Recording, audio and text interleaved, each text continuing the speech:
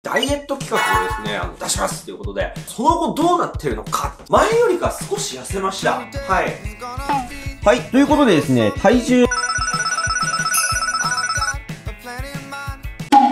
リュウジの動画。はい、どうも、いつももっけだのアフロリュウジです。ダイエット企画をですね、あの、出しますということで、えー、させていただいてるんですが、その後どうなってるのかっていうのですね、えー、今回はそんな動画になっております。ホワイトデー企画でめちゃめちゃお菓子食ったりとか、えっ、と、厚見温泉のワーケーションに行って旅館の美味しいご飯をですね、たんまりと食べたりとか、いろいろと あったんですけど、結果どうなってんのって話をですね、皆さんにお伝えさせていただければと思います。はい。えっ、とですね、今のですね、実際の私の、えー、体ですよね。まず、どうなってるのか、ちょっとお伝えさせていただければと思います。ちょっと脱ぎます。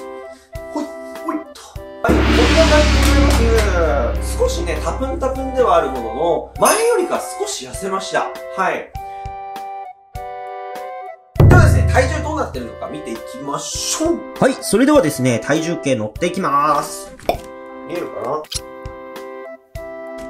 はい、ということでですね、体重68.35ですね。前回測った時はですね、71.2だったので、今ですね、68.3で、まあ大体3キロぐらいですかね。えー、さっきでいかないぐらいですけど、そのぐらい落ちましたという感じですね。ちょっとですね、最近、あの、減り始めはですね、ちょっとペースアップしてきたので、えーぜひ皆さんにですね、その、えー方法もですね、なんかどんなことやってきたのっていうことをですね、ちょっと報告させていただければと思います。はい、まずですね、ここですね、3月1日の時点で71.3キロあったんですよ。で、最高ここまで行きました。72.15まで行きました。ちょっと増えちゃったんですよね。4月13日の時点で、えー、68.75ってなってたんですけど、ちょっとね、こっからですよね、えーご飯めちゃめちゃ食べちゃって、で、えー少しまた太ります。えー4月の16日の時点で71.1になりました。ね。はい。で、こっからですよね。えーっと、4月17、69.75、えー、昨日はですね、4月19日、69.35で、で、今日はですね、あの、僕ですね、さっき測った時に出た数字なんですけど、68.15っていうね、えー、ところが出て、これがですね、一番、あのー低くなったというところになりますね。はい。ですね、この数日間体重の減りが早いんですけど、何をしたかというと、あの、空腹時間を長くするっていう健康法を試したんですよ。空腹こそ最高の薬っていう、まあ、本がありまして、まあ、これもですね、えー16時間、まあ、空腹を、えー、なんだろうな、空腹時間を確保すると、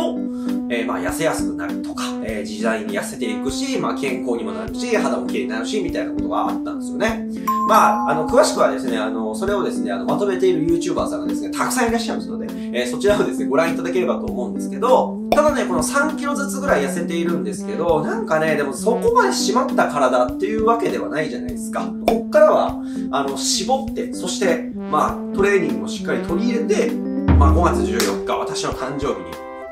えー、いい体にできたらなと思っております。はい、ということでですね、本日はですね、皆さん気になっていたダイエット企画どうなってんのということでですね、えー、ご紹介させていただきました。えー、まだね、ちょっとお肉がね、プニプニットあったりしますが、はい、こんな感じで、えー、なっているということで、現状報告ということで、えー、終わりたいと思います。また別の動画でお会いしましょう。そして5月14日、私の誕生日、お楽しみに